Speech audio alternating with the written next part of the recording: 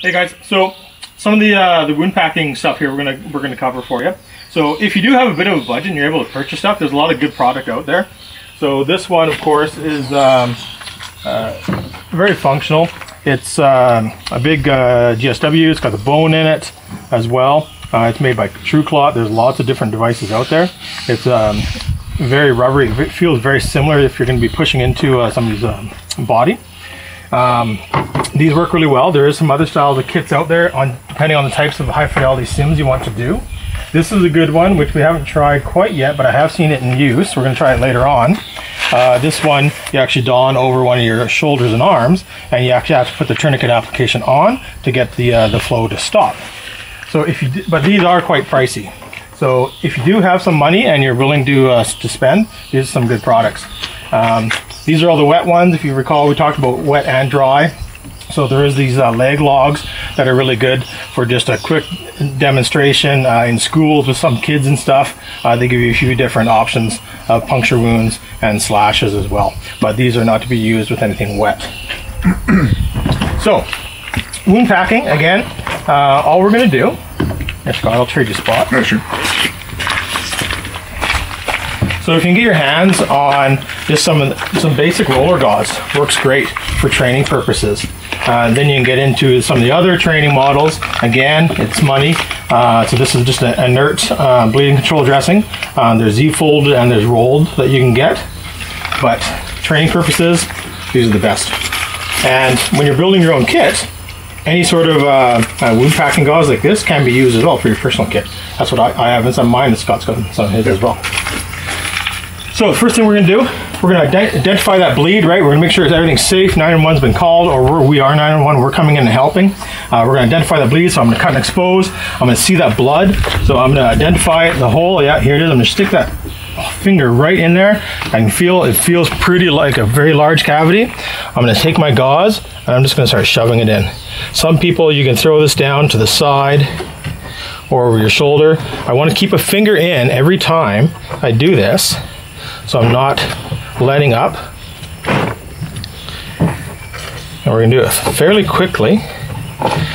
And as you start filling that cavity with that gauze, it's going to start bulking up.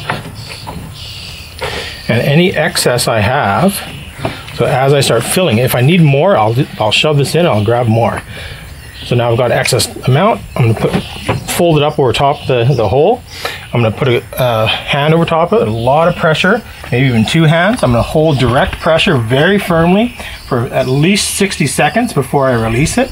And then I'm going to slowly release it after that time frame has passed. And then we're going to dress it with uh, maybe like a modular bandage or some other nice type of Esmarch or pressure wrap at that point. If it starts bleeding again, try more pressure, or if you need to pack it more, go ahead and pack it more.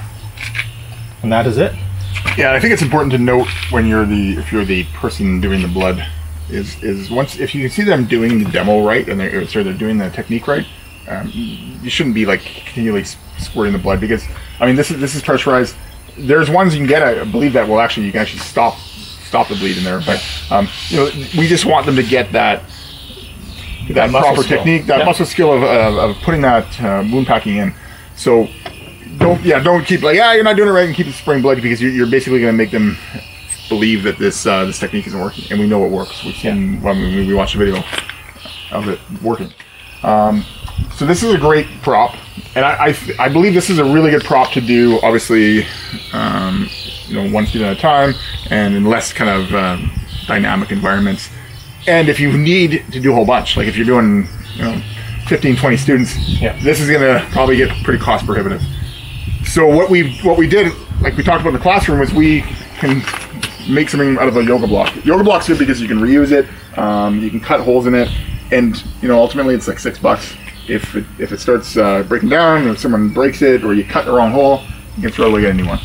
Um, so what we've done is we got that, that you know twenty dollar pump over there, and uh, you put it on the ground, and then we can take that next level up. We can take the next step up into that training environment of of making the people do um, more realistic training. So I'm gonna get Todd to do the same thing. Do you got a wound packing lesson? Yeah, I got some right here. So So Todd's gonna start over there, and what we would, would have done, we we would have preloaded everybody. We would have talked to them about when you first come up. Maybe you don't have your first aid kit out, but you still need to stop that bleed. You still need to get that direct pressure on. So we're gonna drop our knee down on that on that wound. And what's gonna happen is I'm gonna start the flow. As Todd walks up, he's gonna see that wound, he's gonna drop his knee down. So that's going to be that nice sharp direct pressure. He's going to access his uh, his IFAK, or in this case just his pocket. He's going to get the wound packing material ready, and I have stopped. I'm going to stop the flow of blood. You won't be able to see it because Todd's going to be kneeling on it. And then as he lifts his leg, I'm going to resume the flow, and he's going to do the wound packing he just did. If this was an officer, he would come in, same thing. He'd put his knee down, he'd have his gun out, put his gun away, um, take his knee off, start wound packing, and gun back out right away. So we can, like we said, we can scale this to any sort of first responder, any sort of civilian. That's right. Just like that video we watched earlier uh, with the mountain biker. The first thing he did was uh, he threw his knee on, started getting that pressure, uh, and then he counter pressured as well because it wasn't working enough. So it's the exact same principle. The first thing we want to be doing, if you can, is drop that direct pressure on it. It's right in those learning steps in, in the Stop the Bleed course. So get that direct pressure on first, and then start pulling out your gauze or tourniquet, depending on what it is. If it's a junctional wound or a uh, uh, leg wound or an arm wound. So I don't even wait usually until the student gets ready. I just start going with blood, and he's gonna have to fix it. Come fix it. So I'm gonna come in. First thing I'm gonna do is I'm gonna drop my knee down on it. Thanks, Scott. I'm gonna pull out my wound packing. Pull it off and see it's coming out again. Stick that finger right in, find it. I've identified it, and I'm just gonna start shoving this in.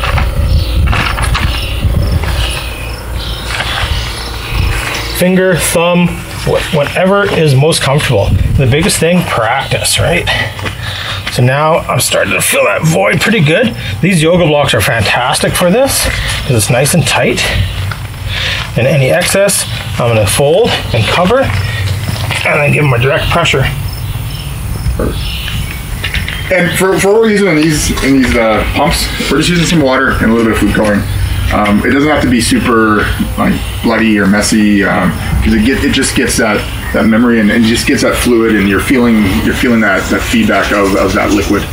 Exactly. It's just that it's just another way to level up your training. Like you can literally start out teaching this course with these dry packers that we talked about, right? It, it's I could still simulate it and just do it dry, but as we know, especially firefighters and volunteer firefighters, we like those high fidelity sims. You know, make it as interactive and as realistic as you can. So when we do our scenarios, um, like Scott will teach, he'll have an officer down or a member down, and we go in, and then we'll have this beside them, and then they can they can pack it right right from there. Yeah, and depending on where it is, like I'll, I'll make sure it's up, you know, in that junctional area because we're, of course, this is a junctional wound.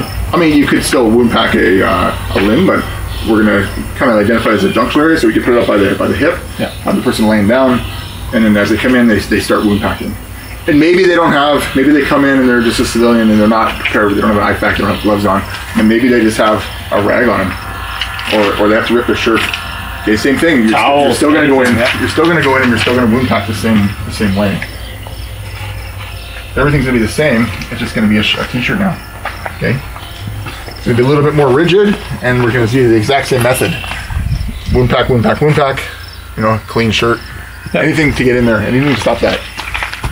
And again, that's in the course material. Uh, so if you don't have any of those, these uh, other supplies available, they tell you use a clean cloth or a rag or your shirt. You know, whatever whatever you need to do. These are uh, life interventions, life critical interventions, right? So we're doing that to stop this massive hemorrhage. Um, the other thing to note too is after we dress it, we've talked about putting another dressing over top of it, uh, or if it is just a wound where you can throw a tourniquet on, we're not just going to leave that wound alone. Uh, if you have time, as the other first responders are coming in, then you could still pack it afterwards if you have that supply still. You can still finish uh, dressing that wound.